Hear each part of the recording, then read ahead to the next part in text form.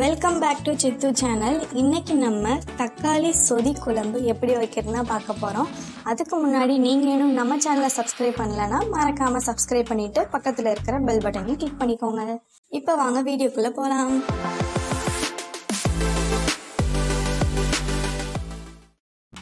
இந்த ரெசிபி செய்கிறதுக்கு முதல்ல தேவையான அளவு எண்ணெய் சேர்த்துக்கோங்க.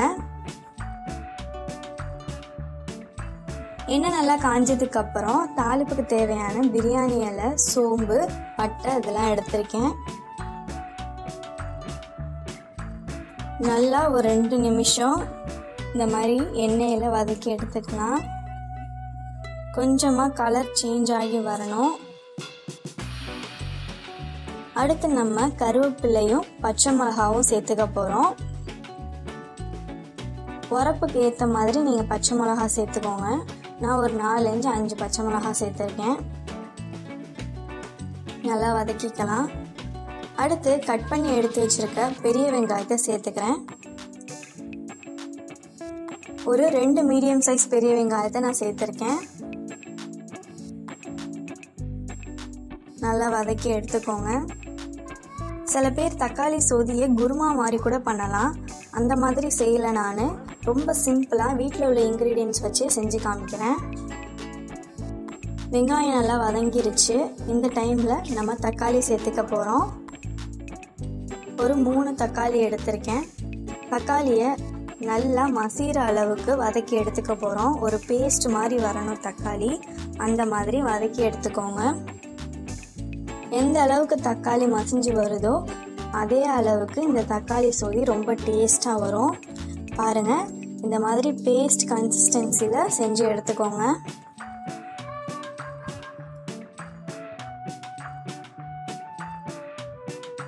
அடுத்து நம்ம இதுக்கு தேவையான மஞ்சள் தூள் சேர்த்துக்க போகிறோம் ஒரு ஹாஃப் டேபிள் ஸ்பூன் அளவுக்கு மஞ்சத்தூள் எடுத்துக்கிறேன். கூடவே ஒரு டேபிள் ஸ்பூன் ஜீரகத்தூள். அது கூடவே ஒரு டேபிள் ஸ்பூன் சோம்பு தூள் சேர்த்து நல்லா கலந்து விட்டு எடுத்துக்கலாம்.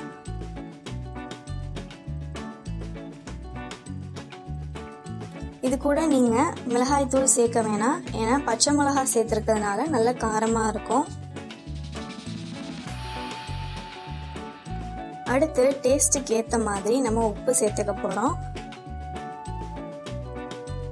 உப்பு சேர்த்து நல்லா மிக்ஸ் பண்ணி எடுத்துக்கலாம்.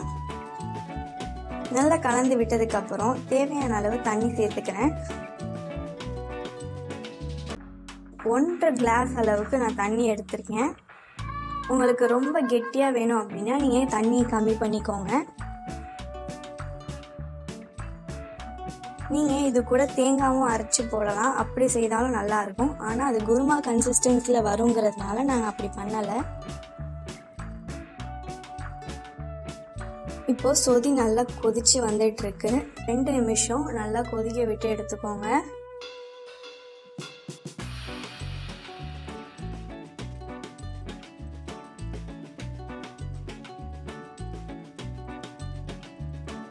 நீங்கள் ஃபைனலாக இறக்குறதுக்கு முன்னாடி இந்த மாதிரி பூண்டை நச்சிட்டு சேர்த்துக்கிட்டிங்கன்னா நல்ல வாசனையாக இருக்கும். கண்டிப்பாக நீங்கள் ட்ரை பண்ணி பாருங்கள் பூண்டு சேர்த்துட்டு ஒரு ரெண்டு நிமிஷம் நல்லா கொதிக்க விட்டு குழம்ப இறக்கிடலாம். ரொம்பவே சிம்பிளாக இன்ஸ்டண்ட்டாக வீட்டில் உள்ள பொருளை வச்சு நீங்கள் இந்த சொதி குழம்பு செஞ்சிடலாம். கண்டிப்பாக நீங்கள் செஞ்சு பார்ப்பீங்கன்னு நினைக்கிறேன்.